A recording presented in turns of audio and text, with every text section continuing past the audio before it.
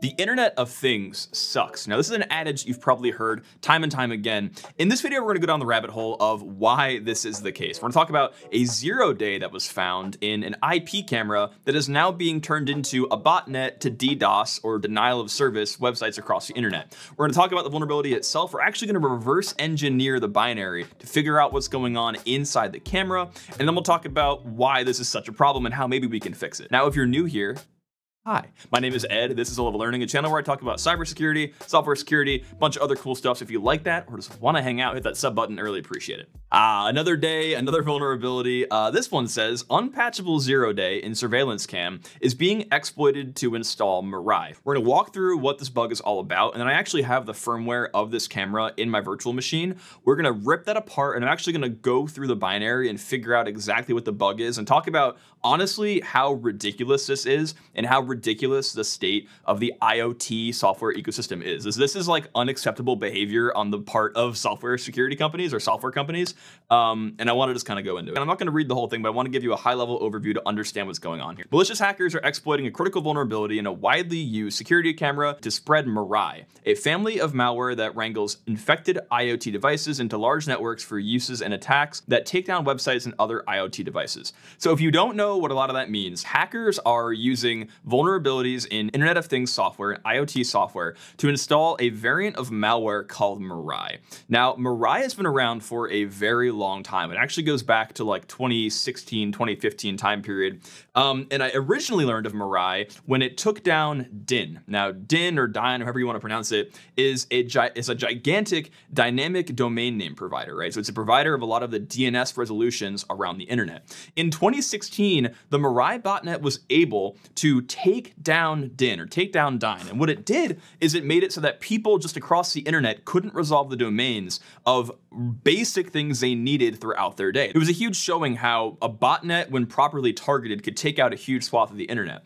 And if you dove into the Mirai malware, we won't do that today, but the Mirai malware, all it did was it would infect a device by guessing the default credentials of that device, and then it would log into that device and install itself and then find more targets and guess more default credentials. And just literally by doing like admin, admin, admin password, Ubuntu, Ubuntu, admin, ABC123, etc., it was able to spread itself across the internet and shoot like gigabits, if not, I think potentially terabits per second at Dyn and take it down. So that's back in 2016. The malware has evolved. It's no longer just doing the password stuff. It's now taking advantage of vulnerabilities and installing itself into new hosts. And one of them here is this AVM 1203 uh, camera that we will go into the firmware of here in a second. What's crazy about this bug is that it is not your traditional uh, exploitation via a buffer overflow or a memory corruption, right? Typically, we have bugs where you know a programmer makes it pretty pretty easy to make a mistake where they don't check the bounds of their input and they copy, copy it into a smaller buffer. Because of that, uh, that allows us to get remote code execution or at least corrupt the memory of the remote process and do evil things with it. What is so bad about this bug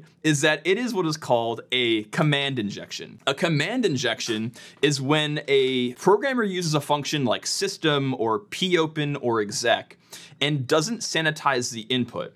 And what you can see here on to the side of my, my fat head is when they do the action on the camera that I'm guessing like changes the brightness of an LED, instead of specifying a brightness value, that would be the regular input of this, they can input cd to temp, wget a file, chmod the file, and run the file, oh, and then also remove it and output all of the uh, standard error to null. And that's it. Okay, ta-da!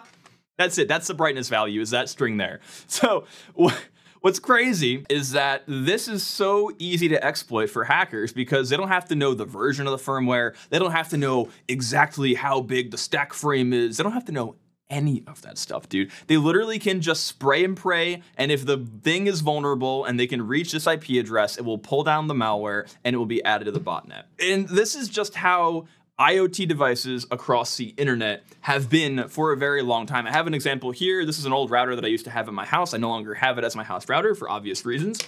Um, but that family of router, and if you can guess what it is in the comments, I'd be curious to see if you know what it is. Uh, every model of that router was vulnerable to a zero day for a decade. Things like this are common. Devices that are typically embedded in tiny, like this little board, for example, this is just like how it is. I wanna go into the firmware of this camera real quick and kind of show you guys exactly where the bug comes from. Now, real quick before you go, I wanna show you my website, Low Level Academy. It is my personal course website that I run where I teach people about the fundamentals of computers, right? I think if you wanna be a good programmer, you have to know how computers work at a basic level. Languages like assembly, languages like C will teach you that, and you can learn that here on Low Level Academy. And if you don't wanna buy it, you wanna try it first, you can go and free preview it. You can go check out the lesson on load operations, learn about how assembly operations and ARM work to load data into registers. You can go do C and you can learn in C how arrays work, for example. If you want to try it before you buy it, go give it a shot. You can't code efficiently if you don't know how computers work, and where do you learn that? On Low Level Academy. Thanks for watching, back to the video. So if you're not like a person who does security research and this may be like intimidating for you, I promise this is not a complicated process. I'm gonna do the best that I can to explain exactly what's going on. Um, but so here is the image of that camera. And so it was a camera from a Taiwanese company called, I think, AVTech, and it was an AV1203 camera, right? And so you can see right here, oh, sorry, 10023, and this is the, the firmware image that you can download from the manufacturer website, right? And that's kind of like, I think, issue issue number one, or not issue number one, but like a big symptom of a lot of the embedded things is people tend to find vulnerabilities in these so easily because these devices the manufacturers allow you to go download the firmware, right? So by having easy access to the firmware itself, you can just go pull it and look for yourself and find weird bugs and things. To take this binary apart, because if you like cat this binary, right, and pump it into less, it's just it's just garbage. Well, inside of the binary image itself, there are a bunch of interesting pieces of, of data about like the metadata of the image itself. It's the, the compile date, the the type of data that it contains, stuff like that. But there are ultimately data structures that contain file systems that contain the binaries that run on the device that we're looking for. Now, if this firmware image were in, uh, encrypted, for example, that'd be a problem. We wouldn't be able to, to take it apart because we wouldn't know the key. We wouldn't be able to see what's on the inside. Uh, but luckily, this manufacturer will, luckily for some, unluckily for others, uh, this is not uh, this is not encrypted, right? So what we do do this little command here called binwalk tech me, which is uh, recursive extraction on that image. And what that'll do is that'll actually rip the binary apart and give us all of the subsystems that are inside of that binary if binwalk knows the signature of them. So we can go into the file that was produced by this, and we have a bunch of stuff that comes out, some header data, and then ultimately we have this thing called the JFFS2, Journaled Flash Filing System, uh, the second version, and this is what's going to contain all of the binaries that run on this device, right? So we're gonna go into there, and I also downloaded Jefferson, which if you wanna play along, I guess, is this is a binary. This is a program that does the uh, extraction of the of the data, right? So we'll go into this file here, 2EA15, and this is just the offset in the binary that that file comes from. And then so in here, we have some of the files that live on that camera. Okay, pretty cool. So if we go one level deeper, we see inside of this, there's a bunch of files that are interesting, but there's no, there, there's a there's a bin folder, but there are some, there are no files in there, right? So we wanna figure out, okay, where are the binary files for this camera? Well, luckily, we saw another file in there that's called app app.sqfs. This is a squash fs, which is a file system that is actually compressed when it's live, and you can't edit it when it's live, but you can uncompress it and see what's inside the, the app, right? So we do app.squashfs, very good, and then we can go into the squashfs, and inside of here, the bin folder, is where we see all the programs that actually run the primary functionality of the camera. Now, the question is like, which binary has the bug? This is like the the entire job of security researchers and bug hunters and vulnerability researchers is that like they have to figure out where the bugs are. So like no one really knows where the bugs are. Luckily for us, the article that was written up by Ars Technica includes some data from CISA, which I think came from the security company that found this bug. Uh, the vulnerability lies in the brightness function within the file CGI bin supervisor factory.cgi. So what we can do is we can go pull up this binary factory.cgi and see what's going on. So let's go play with factory.cgi. So we're in here, we're gonna look for this file. We'll say find and grep for factory. Oh, look, factory.cgi, very cool. And it's CGI bin supervisor, so we're in the right spot. Let's run file on that file. It's a symbolic link to CGI box, interesting. So let's see what CGI box is. A 32-bit uh, ARM elf that is dynamically linked and it uses uclibc. Okay, nothing too interesting there. But what we then do is we take this vulnerability, we take this binary that we think has a bug in it potentially, and then we go into Ghidra. Now, if you don't know what Ghidra is, Ghidra is the reverse engineering framework that was published by the NSA.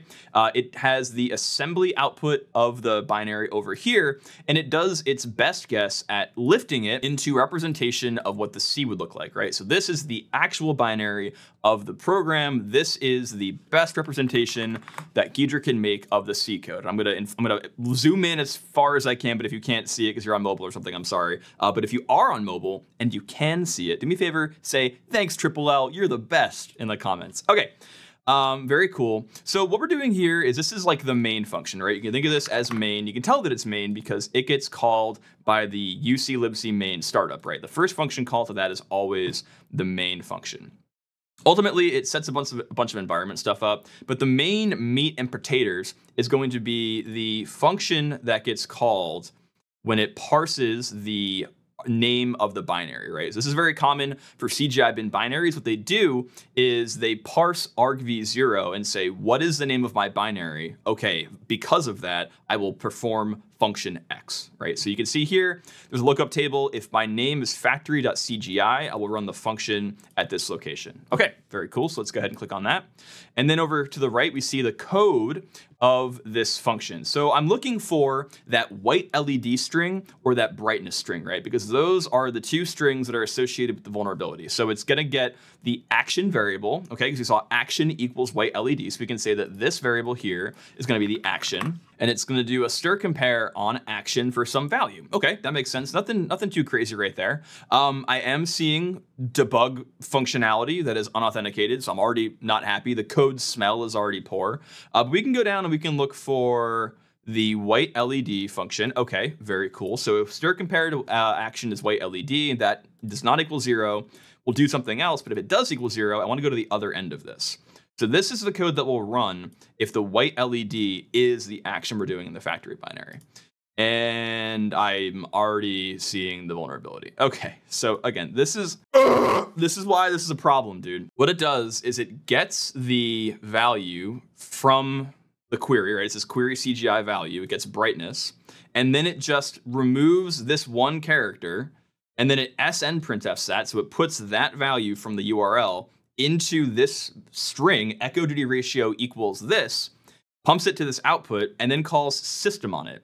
They do absolutely zero sanitization of the string itself, and because of that, you are able to arbitrarily inject code into this that runs on bash without doing memory corruption.